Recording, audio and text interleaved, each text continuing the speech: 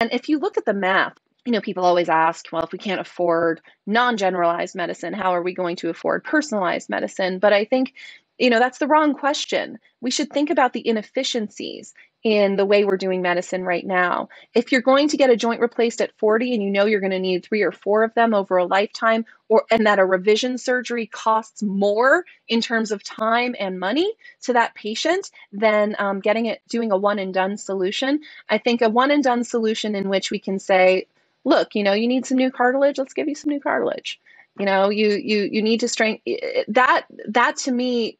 you know, is where science fiction has been pointing us, whether you are watching, you know, Marvel movies about Wakanda or, you know, Star Wars or whatever your favorite, um, you know, science fiction is, there is always some sort of form of tissue regeneration that exists in these in pop culture. So I think people understand intuitively that replacing our, our you know, a couple millimeters of cartilage with an entire joint made out of metal and plastic is just not the way to go. I would love to be, you know, an extra in that movie that makes that future possible.